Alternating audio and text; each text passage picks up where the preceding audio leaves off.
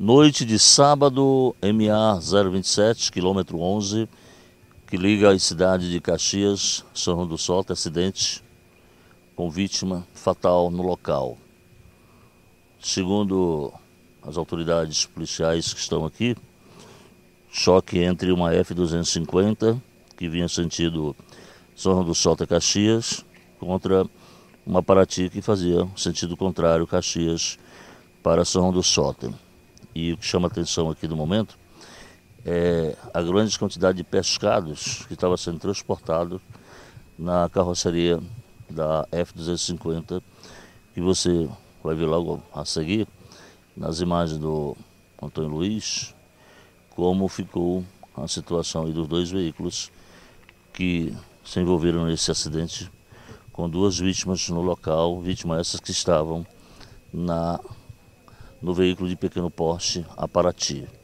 Deixa eu ver aí, aqui tem um dos corpos, já coberto aí com esse papel alumínio, e a outra vítima está do outro lado da Paraty, aguardando a chegada da perícia para que possa fazer aí os primeiros levantamentos de perícia técnica e a, identificar, a identificação dos dois.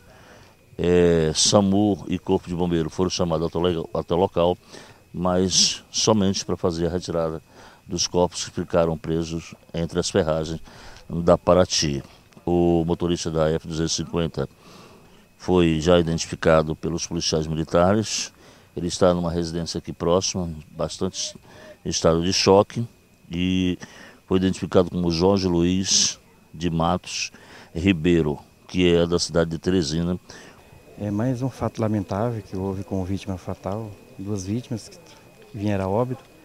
É, por as, as, informações que nos foram repassadas por populares aqui dos povoados, este veículo, essa 250, trafegava no trecho São João do Sota Caxias e a Paraty no sentido oposto, Caxias São do Sota.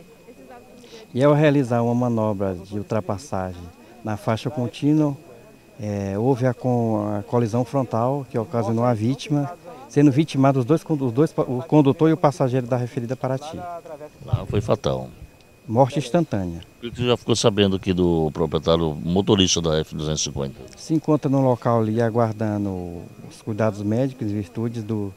Sentiu abalado, está com a perna sem poder se movimentar, mas não fugiu do local, permaneceu no local, só foi levado para uma residência ali, aguardando a chegada dos médicos. Infelizmente, nos deparamos com essa cena dessa colisão, que até agora a gente não tem certeza qual foi o dos condutores que provocaram, né? Aí cheguei, já tinha um, os dois em óbito, aí tinha uma que estava presa na ferragem, a gente já tirou. Agora é só esperar os familiares chegar para caminhar os corpos para o hospital geral. Quem estava preso nas ferragens? Era o da, da F-250 ou da Paraty? Da Paraty. É, o casal lá, o, senhor, o garoto e a senhora? É, a senhora.